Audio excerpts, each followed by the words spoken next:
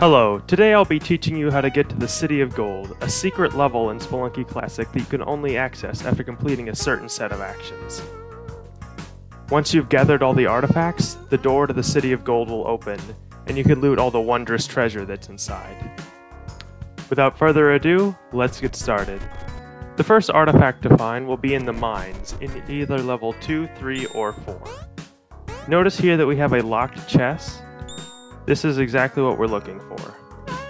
Somewhere in this level is a key, we found it right here. And together, if we bring the key to the locked chest, the Udjat Eye will appear, and we can collect it as here. Having collected the Udjat, we can head our way to the jungle.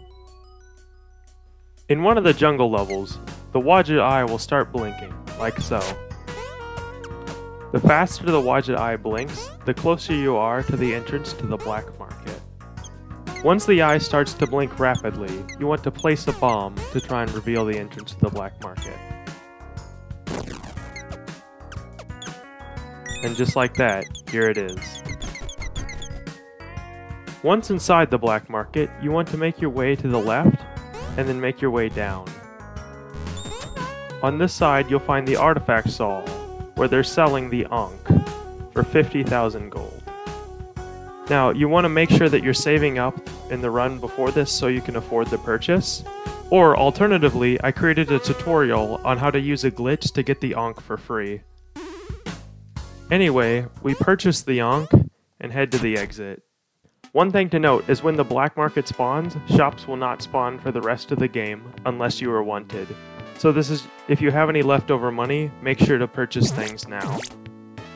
One thing to note is that because the black market is a jungle level in and of itself, the entrance to the black market cannot spawn on level 8, which is the last jungle level. So if you finish level 7 without finding it, it won't be on the next level. Once you have the Ankh, you want to make your way to the ice caves. Once inside the ice caves, you want to look for the Moai, this statue here with a picture of the Ankh on its forehead. Once you have the statue, you want to hit escape, and then F1, and then you'll die and be inside of the statue. From there, you want to pick up the Hedjet and enter the door. And now, after that, head your way to the temple. One thing to note is that the Moai must spawn before any level feeling spawn, so if you end up in a Yeti kingdom or an alien ship level, you have missed the Moai. Once inside the temple, the first level will contain a mummy. You need to kill the mummy through some method, bombs are usually the safest. And it will drop the scepter, the most powerful weapon in the game. Somewhere in the next level, the entrance to the City of Gold will spawn. It'll be a yellow door with a slot for the scepter.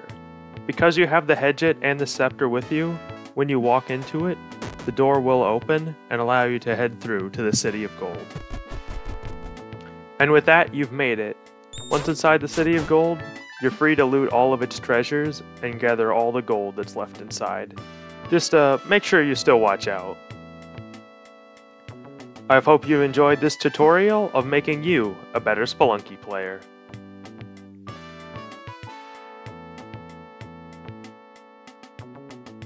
One thing to note here is that any items you,